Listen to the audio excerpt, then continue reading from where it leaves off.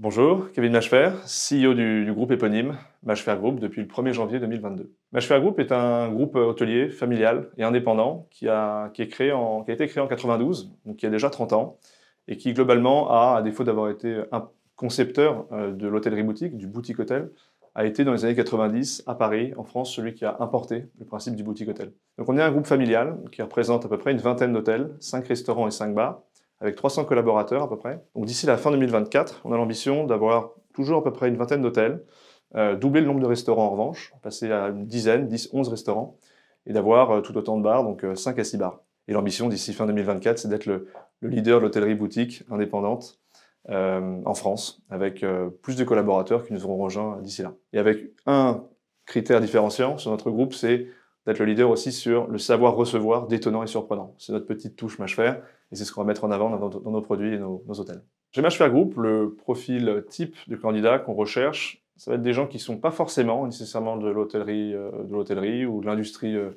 l'hospitality au global. On ne cherche pas non plus que des candidats ayant fait une école hôtelière. On est très inclusif, familiaux, donc on veut vraiment tout type de profil venant de différents backgrounds. En revanche, ce qui est important pour nous, c'est que les gens viennent en comprenant que chez nous, ce sera une école de vie, qu'on va mettre en avant ces valeurs-là constamment, qu'on va chercher des codes. Si les gens ne les ont pas, on leur apprendra.